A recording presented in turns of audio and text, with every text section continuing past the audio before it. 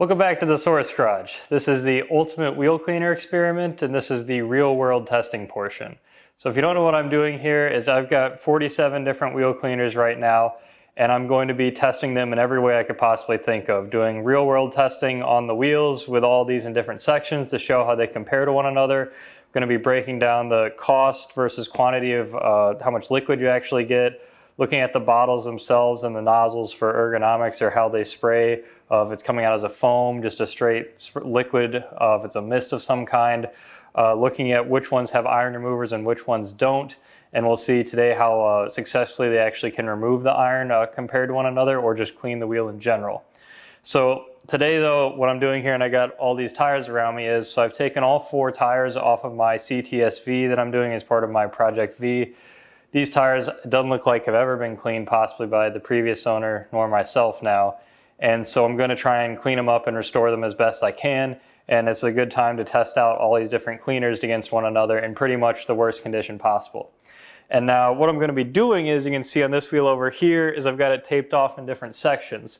So I'm going to put a wheel on my CycloShine stand here so I can spin around and taped off in all these different sections. I'm going to go one at a time with each of these different uh, wheel cleaners Spray them on the section in a, a controlled quantity. I'm not going to blast it everywhere. Going to agitate it with a brush uh, after letting it dwell for about a minute and after washing the wheel down so everything's consistent and even across the board. I'm not going to follow the instructions exactly across all these cleaners. Some of them say uh, like let something dwell for up to 10 or 15 minutes.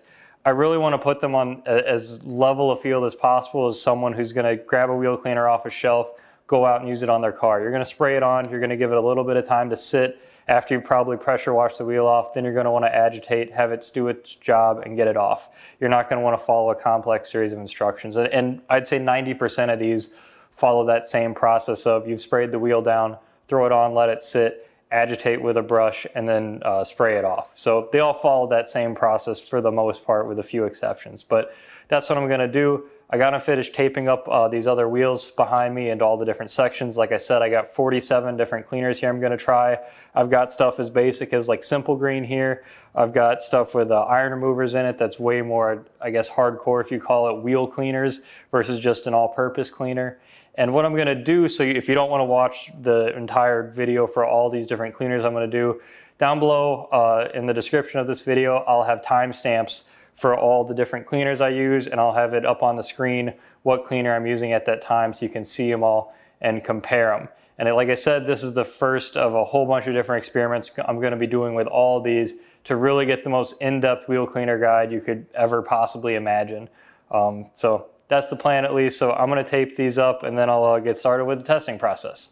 So real quickly, wanted to show off the setup here if I'm doing the uh, testing. So I got the cleaners I'm going to use here in this segment. Got a water bucket for rinsing off the brush to avoid contaminants between each section. Got my sprayer there to represent my uh, pseudo kind of pressure washer aspect. Uh, got the camera mounted here, which will sit kind of here, looking at the inside of the wheel. Got a light mounted to uh, my whiteboard I have here, which I use for some of my other videos. And I've got the tire, oh, I just kicked the tray. Uh, I got the tire set up in the CycloShine here in what is actually a dog bath tub but it kind of sits at the right height so I can do this in my garage where it's uh, quiet and more controlled, no wind or anything, and can spin the tire around as I do the uh, testing here. So I'll set up the camera and uh, get to it. All right, so I'm gonna start here with, I got the, the wheel set up obviously as I showed you with uh, spraying down everything. So I've got my uh, solo sprayer here. So I'm just gonna spray down the wheel to kind of simulate sort of uh, the initial washing it off. Now, you typically wouldn't be sticking your pressure washer in from, let's say, like over here. You wouldn't get it right on the paint, so you're not getting a ridiculous amount of pressure. So this is just going to serve as a sort of pressure washed uh, light spray, and then we'll let the cleaners do the uh, real heavy lifting of all this.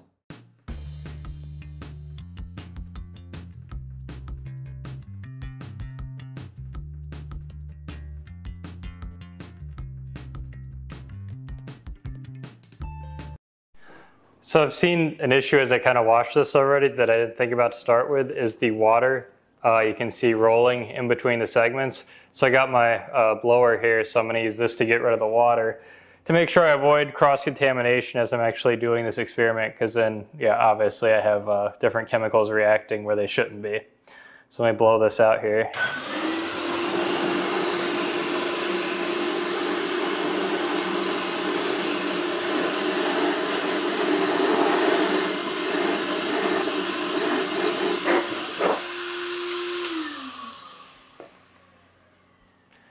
All right, now you can see I don't have a big pool of water here.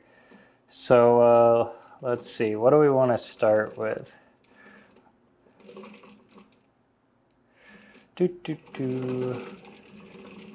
How about Meguiar's Ultimate? It's a good, well-known product here.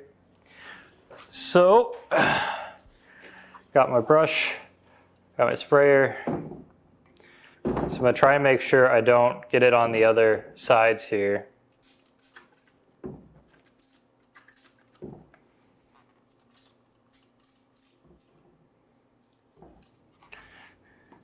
So I got a tiny little splash over on the other side here. I have to try and avoid that in the future. But anyway, once I got this on here, so I'm going to lightly agitate through the entire area here.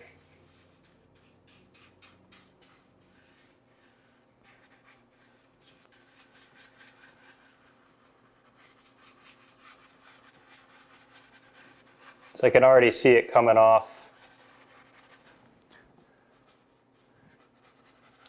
So you can see through this brown sludge in here. Just let that sit for just a little bit here. It asks to spray a generous amount of product covering the entire wheel and says let sit for two to four minutes. So I'll, uh, through the magic of editing, speed up time here.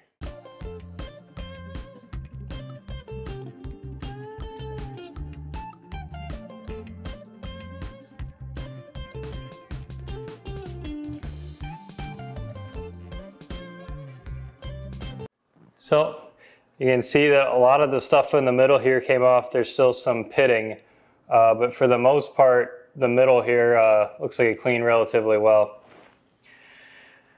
So one thing I'm noticing I'm gonna have to deal with more is the spray onto the sides. So I'm gonna see if I can come up with a solution to try and uh, cover the sides off a little bit better here. So I got some, uh, I may laugh at this, but uh, just one gallon plastic bags here. And the water tension keeps them stuck to the surface here and so I can uh, spray more freely here and rinse off without worrying about contaminating the sides too much. And nobody better nitpick me for, oh, little particles are getting into the tiniest areas. Come on, you're gonna be able to clearly see uh, what's working and what's not. I'm not, I'm not worried about that. So where did I put my? So I got, like, I got to wash this off. So I got my rinse bucket over here to make sure I'm avoiding contamination.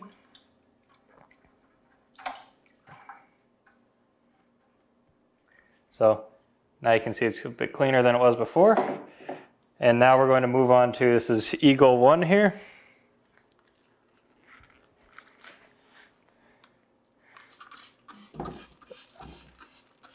Oh, that's nice. So now we're going to agitate this into here. And I think you should do this with any wheel cleaner use that it says spray and let dwell. I'm always a big proponent of get it, spraying it on and then agitating it so you're really getting it in there as much as possible, and not just letting it sit on the surface. So now I've agitated it and it, once again I will let it sit here. I've got a timer on my side here is how I know I'm actually letting it sit for, uh, uh, I'm giving it a minute and a half every time. So I'll let a minute and a half go by and uh, we'll see what it looks like after that and I'll agitate one more time.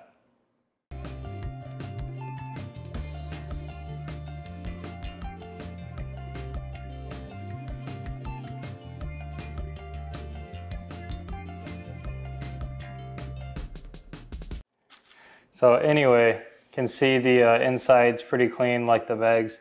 The end here's still got good amount of iron. You can I can still scrape up with my finger here, but this part cleaned up pretty well. So anyway, on to the next one.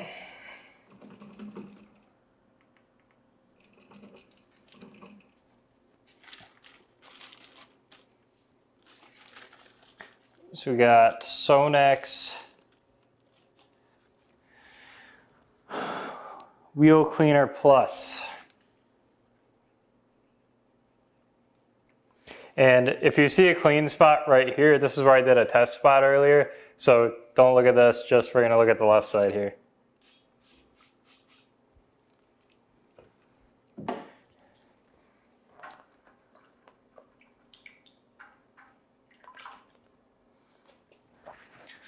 Agitate.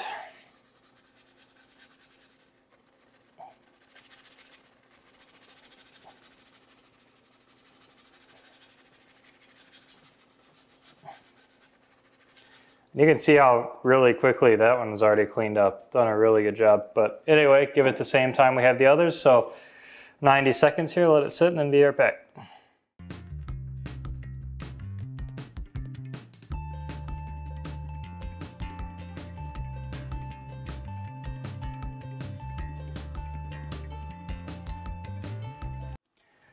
So again, cleaned up pretty well in the middle here. Can still scrape up some iron on the inside here. I would have to hit that again. But uh, you can see the middle looks like it cleaned off pretty well. Up next, we got Sonax Full Effect is up next here.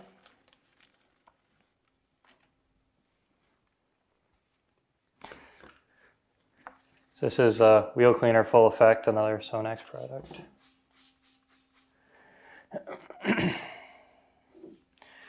And we're going to agitate.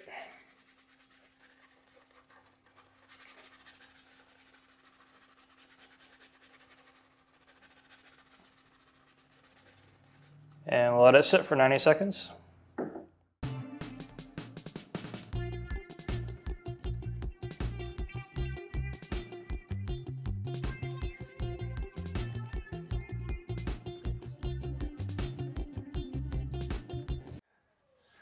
So again, seeing a pretty consistent trend here that the middle area is cleaning up pretty well. You can see how shiny it is. And the back here, not only is it it's darker because it's wet, but you can see the brown tinting back here that we're not seeing up here. So the inside here, the iron is definitely not coming off as much or it's uh, layered on thicker, it looks like at least. So moving on to the next section here. We have Nanolex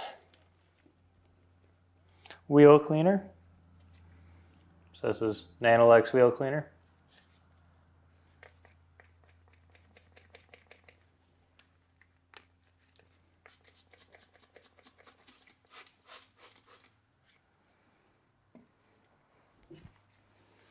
And we'll come in and agitate.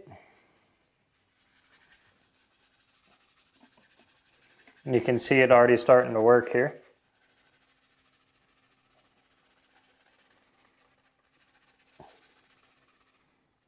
Let it.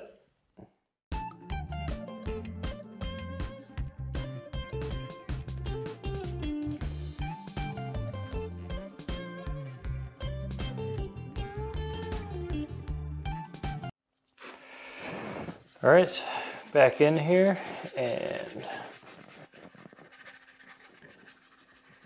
can see all the dark red from the uh, iron remover activating.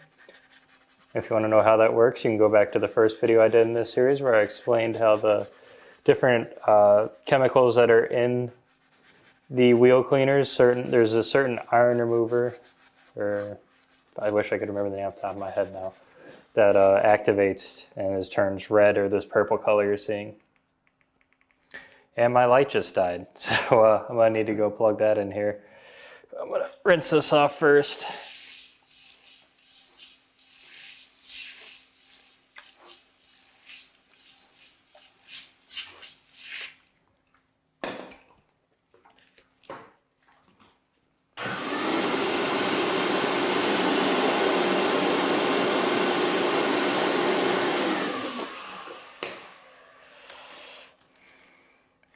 So this one cleaned off really well. I wish I could get the light back on here. So I'll be back in a second with another light. All right, so I got my light on its charger here and can hold it. So you can see the Nanolex looks like it cleaned up pretty well inside here again, just like the other ones. And uh, there's still definitely uh, some residual, I'd say, on the inside here. So uh, move on to the next one here.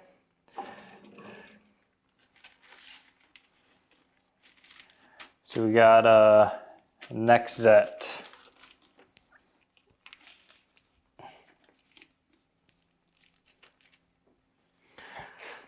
Let me grab it.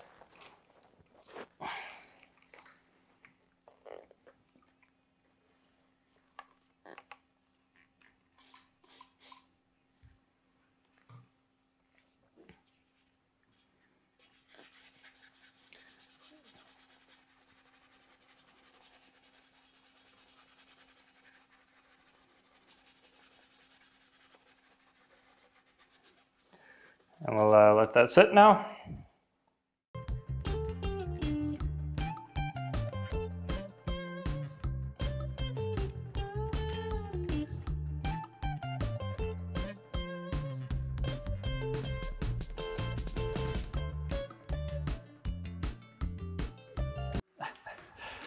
Well, this is the only inconvenience I have to deal with these plastics bags. It isn't too bad. So again, we can see with the Nextzett, most of it's cleared up pretty well in here. Not so much again up in here. Not a ton of brown here. When uh, I'll do a really in-depth view once this is all done with the camera and some good lighting. So keep moving around the wheel here.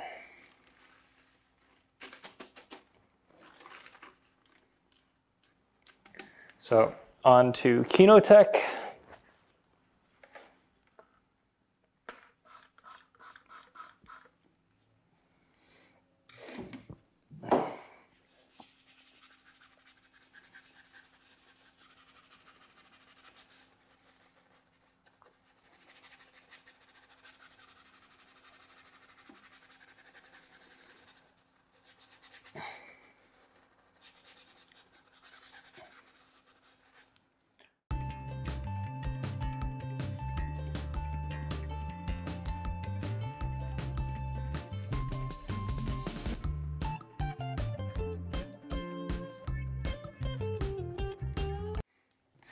So let's have a look. This cleaned up really nicely, and even back up in here, it looks like it's cleaner than some of the other sections maybe. Well, there's kind of a brown haze over the middle here. But uh, looks all right. Keep going around.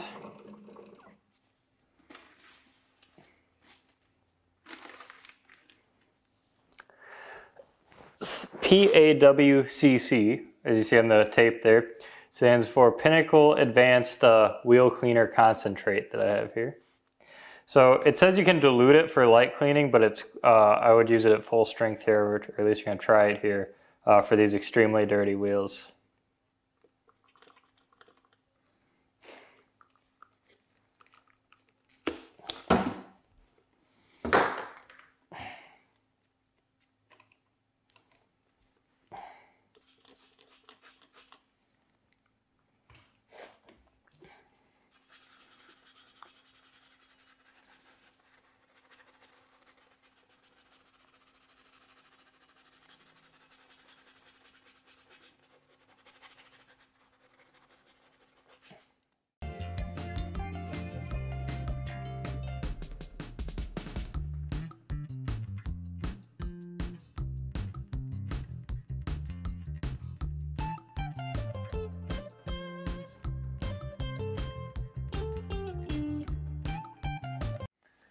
So again, good cleaning here. Definitely a brown tint up here. Maybe not a whole lot of brown tint in the middle here where the iron would be still or pitted in. Anyway, on to the next one.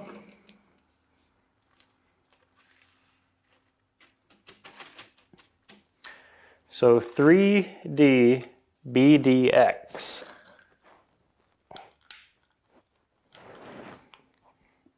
So got it here.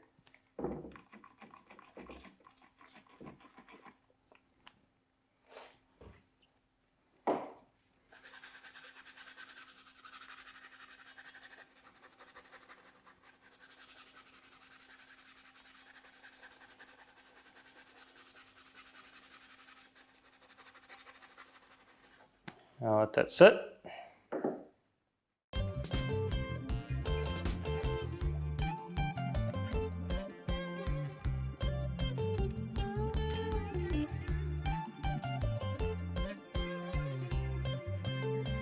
So looking at 3DBX, very similar to most of the other ones. Pretty clean in the middle here, a bit more iron up closer to the front there. And I think we're on our last one here move my coverings again. Jescar React Shine.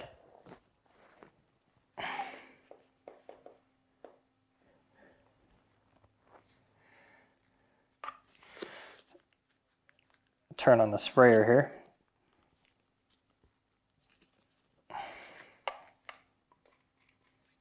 Jescar React Shine.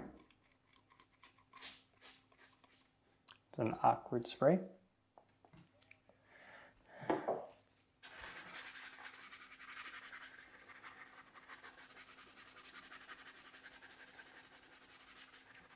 That smells, that is one of the stronger smelling ones.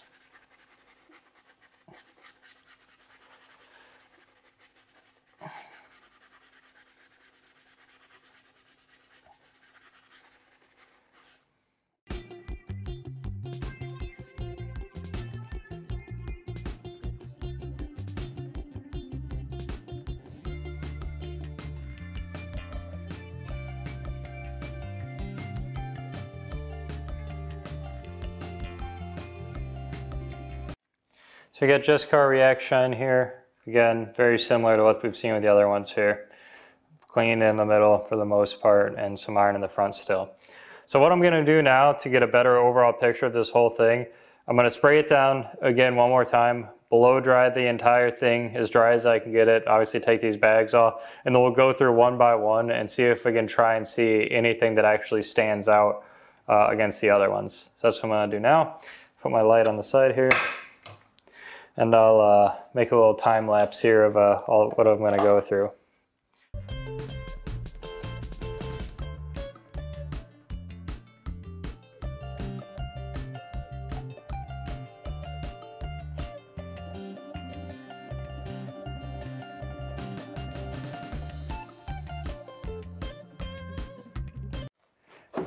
All right, so I'm going to kind of rotate this around here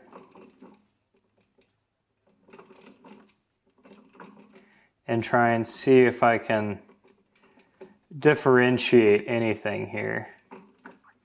What I'm seeing consistently is extra iron buildup under here and you can see the you can see the brown. There's a little bit of moisture on my fingers too and the interior here is definitely cleaner. And it looks pretty similar because there's still some moisture here but you can see the iron that's coming off. So if I hit these again, I'm sure more iron would come off. But really, if I, I can't tell that one did vastly superior than another. If you look at all of these, there's still pitting uh, or these spots of iron on the outside here. There's definitely more iron contaminants built up on the inside here still. And again, the whole point of this was being a real world test. And I, I think I can confidently say that looking at this, and I hope you can see it on the camera too here, that there's not a significant difference uh, between any of these sections here that I can tell. They all had some kind of iron remover in them, I'm assuming. I could smell it on most of them. And that's why I did this one first, so I could see the iron removal. I'm to take the camera off here, try and get you a better visual. So as I go around the wheel here, that all of these look very, very similar still. They obviously cleaned off the majority of the iron, and my light's dying again. Ah, crap. But, oh, here I can go through it all with the light off even. There's just not a difference between any of these. They all have the same pitting and general cleanliness, but there's also brown iron left still up on the inside of the rim. So let me back off the camera and give kind of an overview of everything. All right, so I guess to do kind of a wrap up here, this is uh, the first wheel I did. I guess I might call this part one of the video and try and break this up so it's not one monster thing. So I have all the 10 products over here. You can see where I got the vacuum. It's kind of a mess over here as I was trying to cram everything into the shot here. It got kind of messy. Here's the uh, rinse bucket if you don't believe I was actually uh, washing out the uh, uh, brush between every section. Um, but really, as you can see on the camera there, there wasn't a difference between uh, the cleaners that I used. All these, pretty sure had some iron remover in them. I could smell it. It, it reeks in here right now. Um, and they were all pretty uh, consistent in that I think every section of the wheel would need a second hit to effectively remove the iron off of there. Um, they did a good job at a first pass and obviously removed, I'd say, like 80 to 90% of uh, what was there, and it still needs some more to go, obviously, after that. So this was part one uh, with all these with iron removers. A lot of the other cleaners I have don't have iron removers, and I'm really interested to see how well they're going to perform uh, on these wheels that have so much iron embedded in them. I may end up doing wheels where I use an I dedicated like Fallout just iron remover on them first. I've got some uh, Meguiar's bottle of that, and then I'll come back after that with all the other cleaners that don't have iron removers in them because that's what you would do in the real world, right? If you had a heavily ironed wheel, you might use something that just gets rid of all the iron and then come back and hit it uh, with a different wheel cleaner. So we'll have to see how that plays out. Uh, I got to tape up all the other wheels still, still um, to do all the other sections of this. I'm probably going to do that tomorrow. Um, and we'll just we'll see what happens. Like I said, this is the real world test part of this, and you saw real world examples. I hope as uh, consistently as I can possibly make them, so you can get a good idea of what I'm trying to do here. So if you enjoyed the content, please uh, like and subscribe and follow along as I uh, continue to break down all these uh, wheel cleaners and a lot of other stuff. Thanks for watching.